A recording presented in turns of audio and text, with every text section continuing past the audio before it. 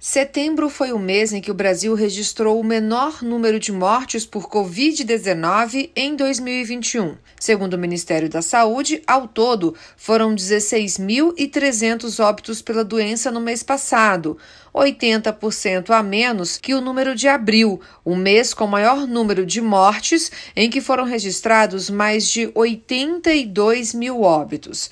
Segundo o ministro da Saúde, Marcelo Queiroga, o cenário epidemiológico do país é cada vez mais satisfatório e isso está ligado ao avanço da vacinação dos brasileiros. Os dados estão aí. A nossa campanha de vacinação ela reduziu de maneira marcante internações hospitalares, óbitos, não há dúvida a respeito disso. Até aqui, 93% da população adulta do país tomou pelo menos a primeira dose e quase 60% está completamente imunizada.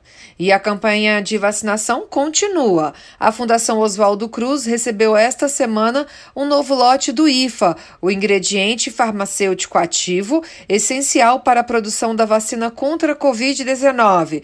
Com isso, está garantido a fabricação de pouco mais de 5 milhões de doses do imunizante da AstraZeneca. A Fiocruz também entregou ao Ministério da Saúde mais 374 mil doses do imunizante, somando mais de 107 milhões de doses distribuídas ao Programa Nacional de Imunizações. Reportagem Luana Karen.